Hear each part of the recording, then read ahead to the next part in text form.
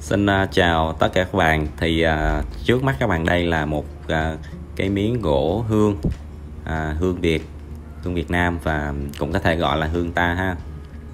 Còn đây là một cái miếng uh, gỗ gõ đỏ hay uh, còn gọi là cà te theo cách gọi của khu vực uh, miền Trung và phía Nam.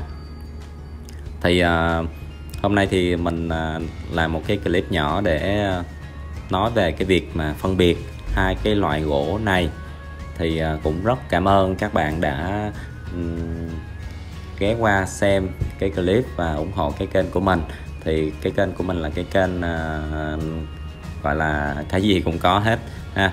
Thì à, qua cái clip này thì cũng rất là mong các cái bậc đàn anh có nhiều kiến thức kinh nghiệm hơn có thể chia sẻ thêm với mình và mọi người ở đây về những cái kiến thức của các uh, các bạn. Tại vì kiến thức nó là vô hạn các bạn thì uh, không không có phải ai cũng có thể nắm hết được. Cho nên mình uh, làm clip để mình chia sẻ một cái tí xíu kinh nghiệm đam mê.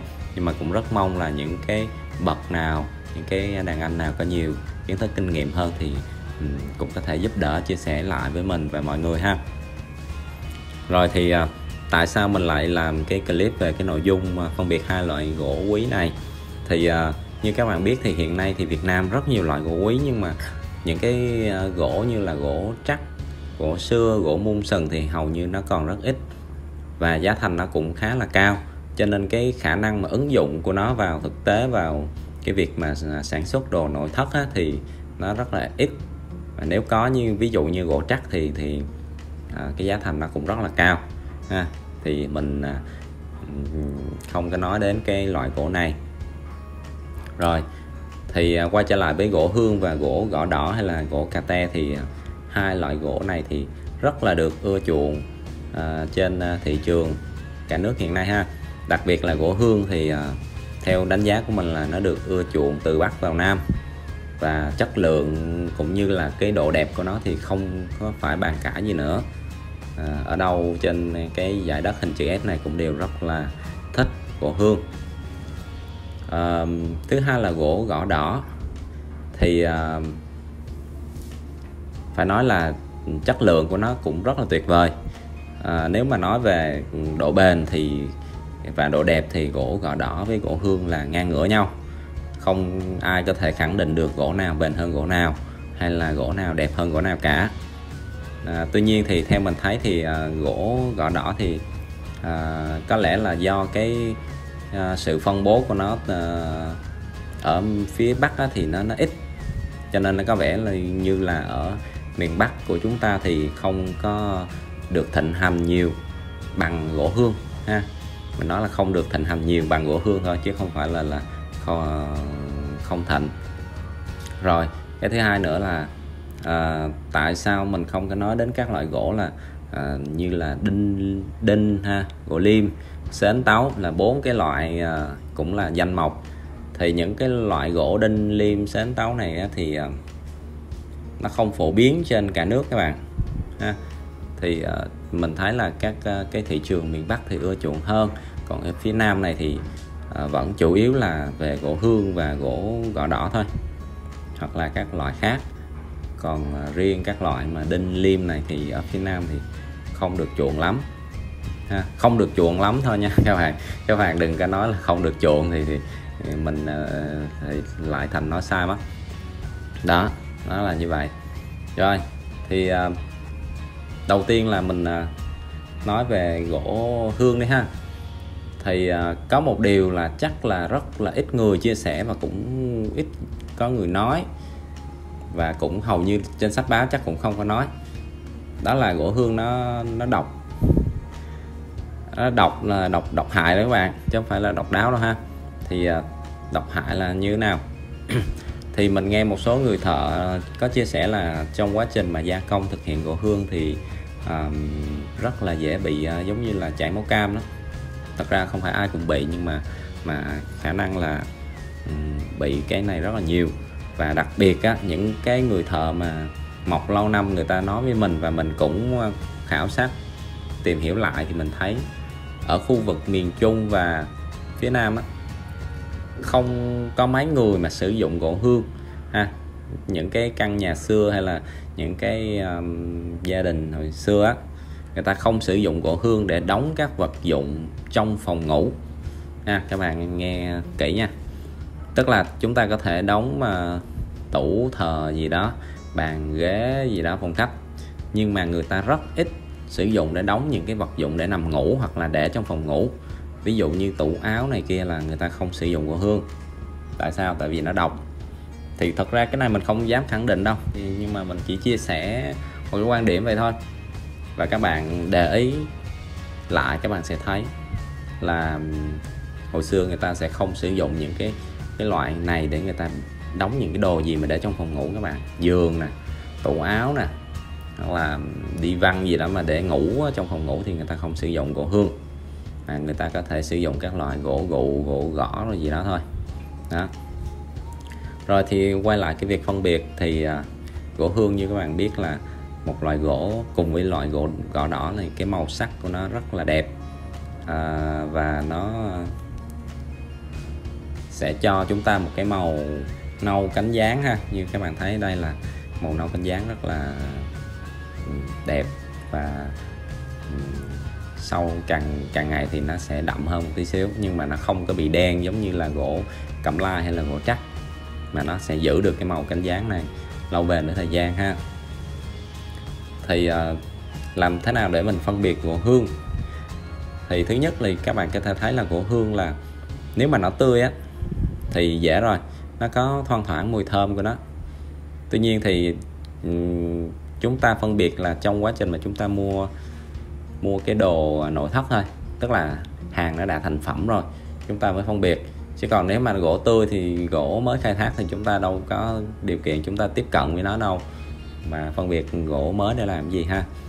Cho nên đối với những sản phẩm thành phẩm thì các bạn chú ý cho mình là các bạn sẽ nhìn cái vân nó thì cái điều đặc biệt của gỗ hương thì cái vân của nó nó phụ thuộc vào cái chất gỗ mà nó, cái vùng nó phát triển ha.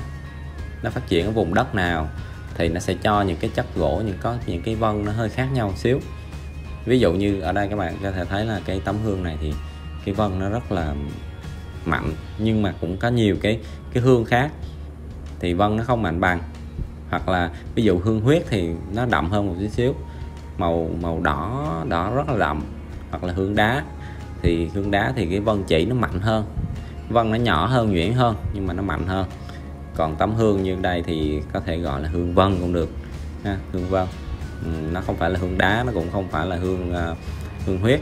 Thì thật ra người ta chia làm hương đá hương huyết này kia thì à, do là cái vùng đất nó sinh sống và nó phát triển thì nó tạo ra cái màu sắc thôi.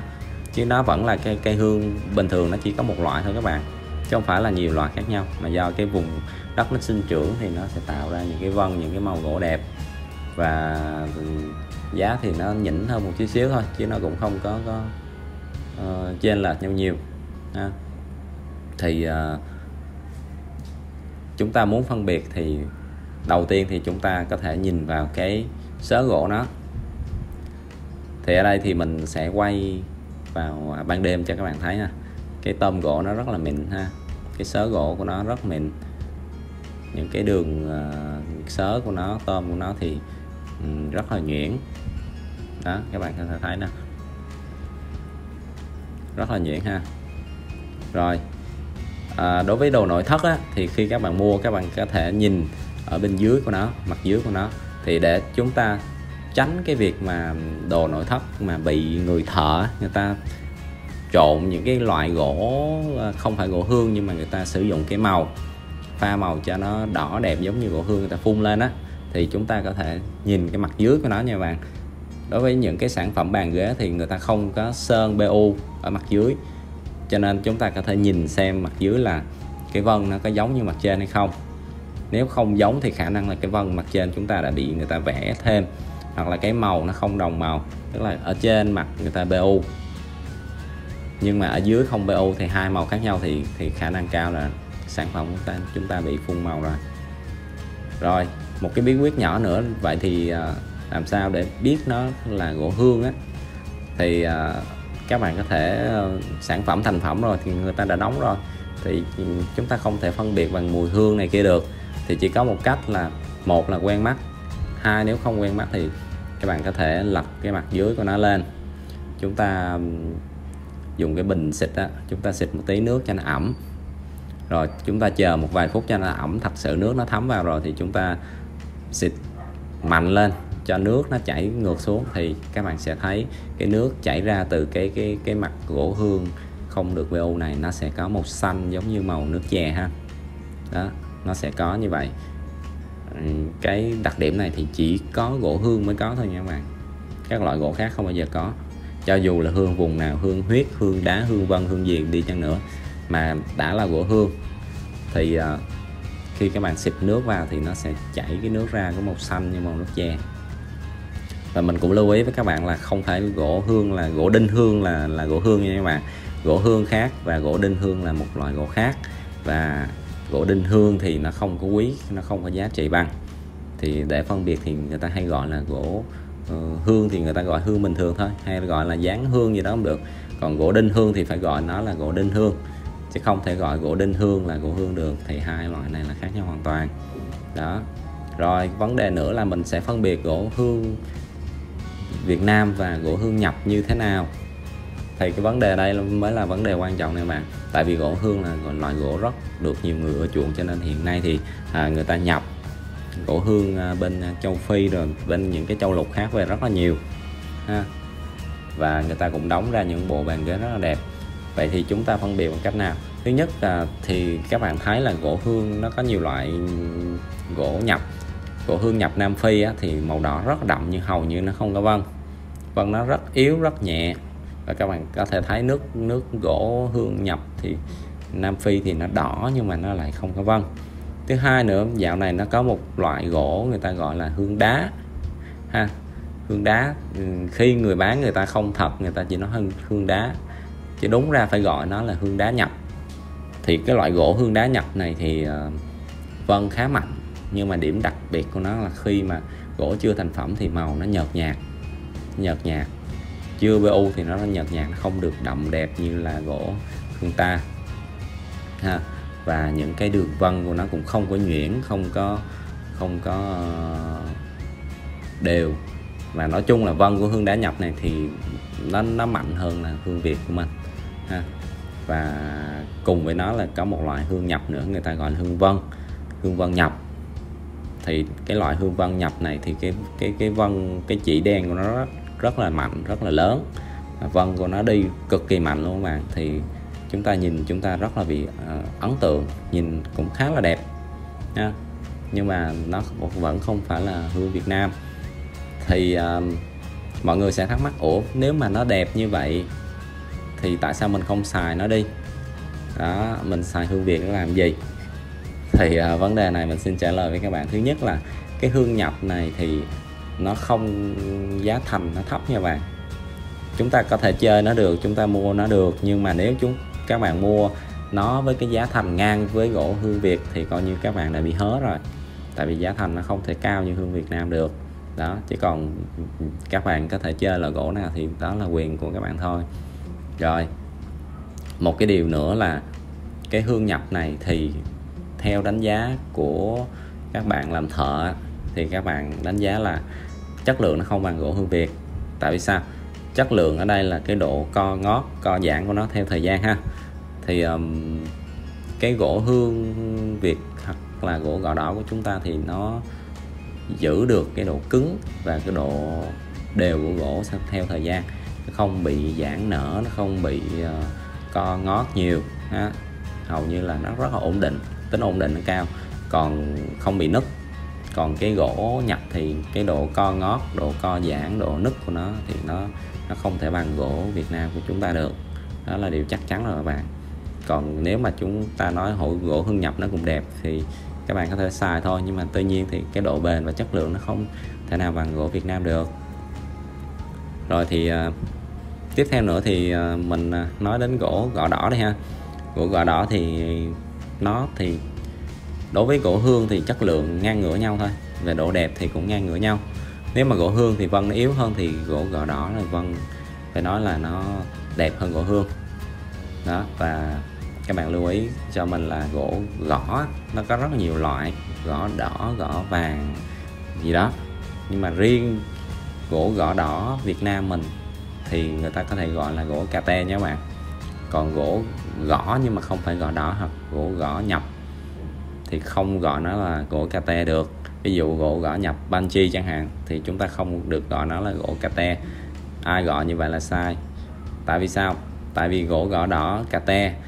Xương người ta gọi là gỗ um, gọi là gỗ uh, hổ bì đó. Hổ bì tức là cái da con hổ đó. Và các bạn có thể hiểu được tại sao người ta gọi là hổ bì. Là các bạn nhìn cái vân ở đây. Thì vân nó đi không phải đi theo đường thẳng mà nó đi theo cái đường giống như là cái uh, vân da của con con con hổ không?